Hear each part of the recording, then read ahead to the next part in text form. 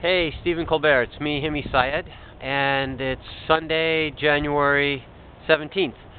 It's uh, the end of the second week of the Toronto election 2010, and behind me is the high school I graduated from, Central Technical School in downtown Toronto.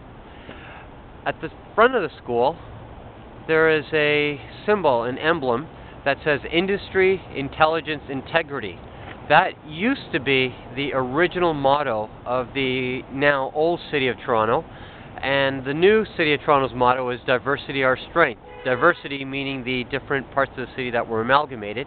Uh, yesterday we were in North York, and we're back here. Uh, Central Tech falls just on the east side of Ward 19, Trinity Spadina. We also have another Trinity Spadina. It's Ward 20.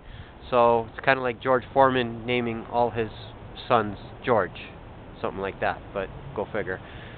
Industry intelligence integrity. That's something I'd like to bring back to City Council, and uh, maybe it never left. It's just been a little bit smothered by some of the voices and the problems and uh, the challenges the city has been going through. Hopefully, I make it to City Council, and to do that, getting the Colbert bump wouldn't hurt. So here I am asking you, Stephen Colbert, to give me, Himy Syed, the Colbert bump to bring intelligence, integrity, industry back to the city of Toronto.